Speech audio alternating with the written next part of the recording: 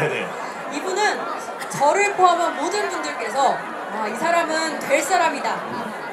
트로트를 위해 태어난 사람이다. 라고 했습니다. 그러면 전 이분을 또 이렇게 소개를 해드려야 네. 되겠네요. 우려낼 때 우려낸 곰탕 같은 목소리의 주인공. 네.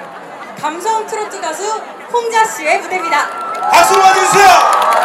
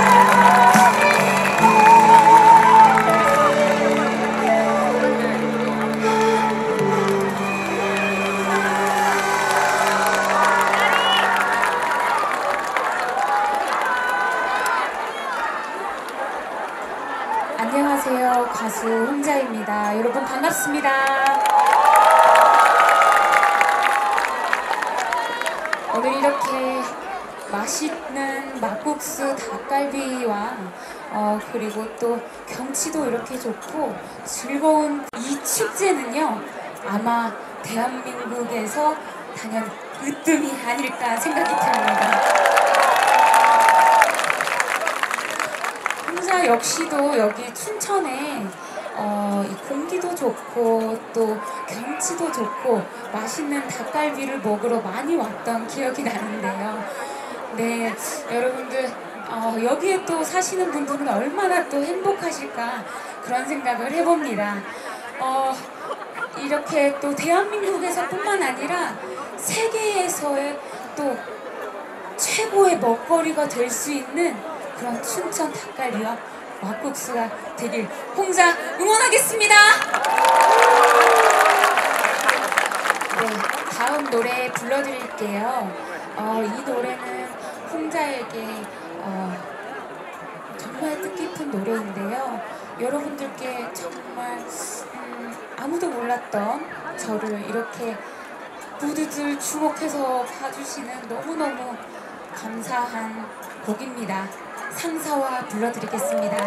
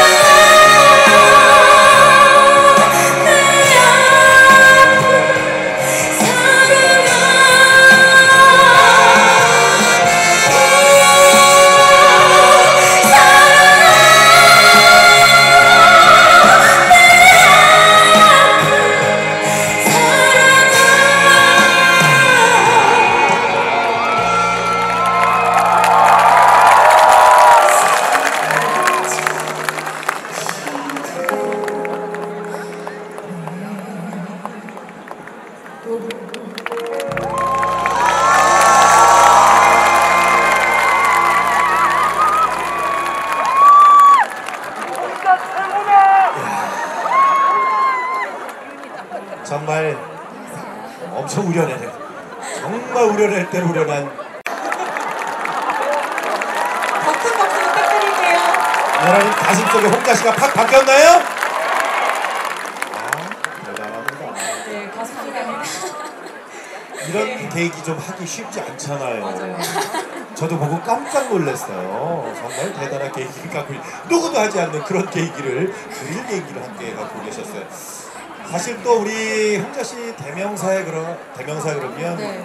우려낼 대로 우려내는 감성. 되잖아요. 아, 네, 어. 이런 감성을 좀 담는 방법, 비결. 뭐 어, 비결을 좀 분명 있을 것 같아요. 네. 어, 비결일까요? 노래에 어, 마음을 담아서 최대한 무대를 임하는 것이 제 나름대로의 비결인 것 같습니다. 이미 우리가 들었던 두 곡은 이제 그런 감성들을 굉장히 많이 녹여서 불러봤고요. 좀 우리가 좀 차별을 두어서 네. 들어보려면 뭐 동요나 이런 걸 가지고 한번 우리 홍자 씨가 감성을 좀 넣어서 그럼 또 뭔가 좀 색다른 느낌이 나지 않을까 싶기도 하고 어, 어떤 동요를 해볼까요? 어 혹시 제가 그, 네, 좋아하는 동요 있어요? 또 배우고 싶거든요. 아 그래요? 네, 좀 제가 배울 수 있게. 네. 노을 이런 거 어때요? 노을 노을 씨. 파란 하늘. 아기 염 오늘 파란 아기 아기 염소에다가 한번 그걸 녹여볼까요? 어, 아기 염소가 굉장히 슬퍼질 텐데 괜찮을까요? 슬픈 아기 염소 오늘 한번 보죠 뭐. 네. 네. 파란 하늘, 파란 하늘 꾸미 는 드리운 푸른 언덕에 아기 염소 여럿이 불을 뜯고 놀아요 새처럼 밝은 얼굴로 야. 자, 이거 우리 다시 한번 해봅시다. 네, 제가 제2의 홍자가 될 수 있을지 한번 해보죠. 자, 준비. one, one point로 어, one point로. 요것만 생각해라 네, 하나만 딱 찍어서 네. 포인트를. 찍어줘야죠. 어떤 식으로 불러줘야 나는 되는지. 지금 나는 지금 어, 슬픈 아기 아기 염소다. 나는 지금 슬픈 아기 염소다 아기 염소 시. 자, 합니다 네, 시작. 파란 하늘 파란 하늘 꿈이 드리운 푸른 언덕 염소는 이제 초상난 것 같아. 그냥 진행하는 게 나을 것 같아. 아, 잘하십니다. 그러게요, 네, 저희 잘하시네요. 그냥 이어서 저는 진행을 하고 또 홍자 씨의 음악 들어봐야겠죠 자, 우리 더 한번 우려내서 여러분들의 감성을 한번 흔들어 보겠습니다. 어떤 노래가 준비되어 있나요? 어 그거는 오늘 준비를 안 했는데 그러면 여기요 여기 있어요 그대 찾는 사람 여기 있어요 자, 그러면 준비된 노래 어떤 노래?